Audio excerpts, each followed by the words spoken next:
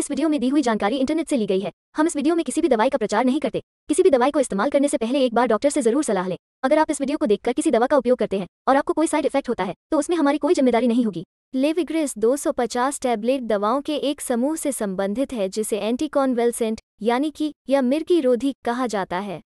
यह मस्तिष्क में विद्युत संकेतों को धीमा करके काम करता है, जो दौरे का कारण बनता है, यानी कि फिट बैठता है।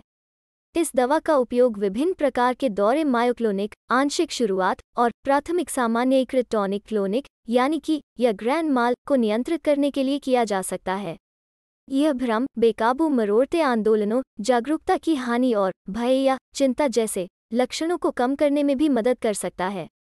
दवा आपको कुछ ऐसी गतिविधियों को करने की अनुमति दे सकती है जिन्हें करने के लिए आपको अन्यथा मना किया जाता है या डर लगता है, यानी कि जैसे तैराकी और ड्राइविंग।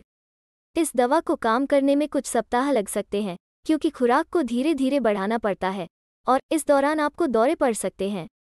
आपको इसे लेना जारी रखना चाहिए, भले ही आप अच्छा महसूस कर रहे हों और आपको कोई दौरा न पड़ रहा हो। गुम खुराक से दौरे पड़ सकते हैं। जब तक आपका डॉक्टर आपको सलाह न दे, तब तक इस दवा का उपयोग बंद न करें। इस दवा को अपने चिकित्सक द्वारा बताई गई खुराक और अवधि में लें। इसे पूरा निगल लें, इसे चबाएँ, कुचलें या तोड़े नहीं। लेविग्रेस 250 टैबलेट भोजन के साथ या बिना भोजन किए इसे लिया जा सकता है, लेकिन बेहतर यह होगा कि इसे एक नियत समय पर वरीयता के साथ लिया जाए। लेविग्रेस 250 टैबलेट एक मिर्गी रोधी दवा है। यह तंत्रिका कोशिकाओं की सतहों पर विशिष्ट साइटों, यानी कि एसवी2ए से जुड़कर काम करता है। यह मस्तिष्क में तंत्रिका कोशिकाओं की असामान्य गतिविधि को दबा देता है और विद्युत संकेतों के प्रसार को रोकता है जो दौरे का कारण बनते हैं।